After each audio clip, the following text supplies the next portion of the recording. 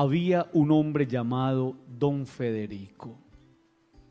Y don Federico vivía en un pueblito y le encantaba cuando llegaba las tardes a su casa, una casa de corredores grandes, sentarse a descansar. Una vez llegó de coger café don Federico, cogió su silla mecedora y se sentó en el corredor.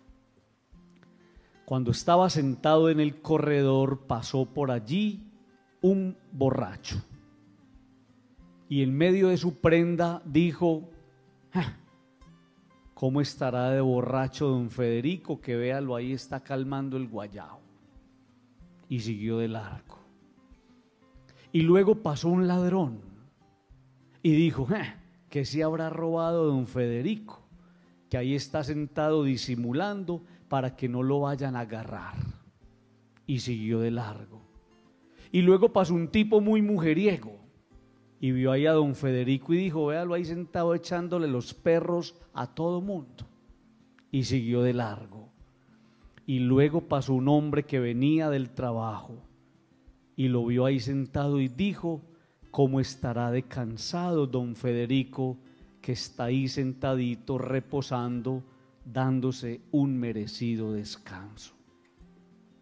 Amigos, ese es el Evangelio de hoy. El Evangelio de hoy es Jesús yéndose contra todos los que muchas veces nos quedamos en la apariencia, los que hemos cometido el error de coger la vida de una persona y volverla nada por lo que vemos o por lo que interpretamos. Dios a vos no te va a preguntar por lo de afuera. Dios a vos te va a preguntar por qué le dañaste la vida a una persona, por qué le quitaste la fama a alguien, por qué no me diste tus palabras, por qué pusiste en riesgo la fama de una persona con tus comentarios irresponsables. Y lo que no caemos en la cuenta, queridos amigos, es que nuestro interior está tan jodido y tan vuelto nada que todos llevamos adentro un borracho, un ladrón y un mujeriego. Y esa es la parte que tenemos que construir. Y porque somos inconformes con esa realidad, terminamos descargando sobre los otros lo que nosotros llevamos encima.